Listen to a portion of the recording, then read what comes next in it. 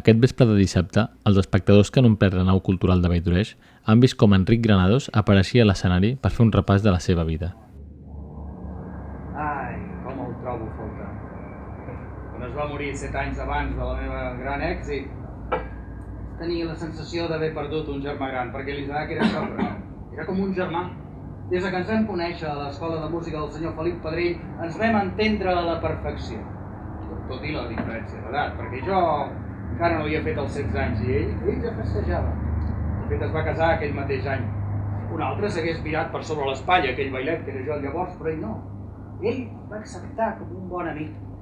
I quan li vaig ensenyar les danses espanyoles, que jo acabava de compondre, Isaac, Isaac Albéniz, va fer una lluança sincera. No, sí, ja sé que no són una cosa massa complicada, són els meus primers passos dins del món de la composició, però jo, jo me'n sento molt orgullós. Llorenç Serraima ha donat vida al músic català acompanyat d'Eloi Jové, al piano en una producció d'aire teatral. Em vaig aixecar discretament i vaig sortir per la porta del darrere amb intenció de tornar cap a l'hotel. Quan ja tenia l'abric a la mà, vaig sentir una veu molt educada que em deia ya se marcha, maestro. No se queda hasta el final del recital. Sí, es que, mire, no lo aguanto más. Porque es que si la pianista es mala, ¿qué se puede decir de la cantante? De verdad, es que no sé, no sé cuál de las dos es peor. ¿A usted qué le parece?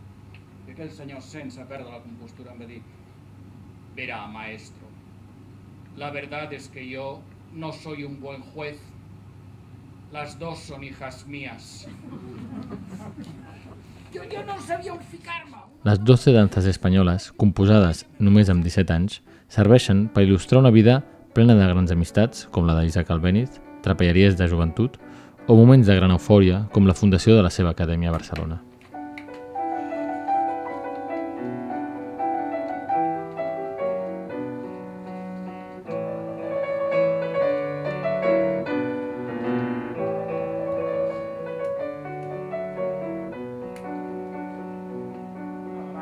L'Isaac era un exagerat amb el menjar. Menjava com si el món s'anés a acabar l'endemà.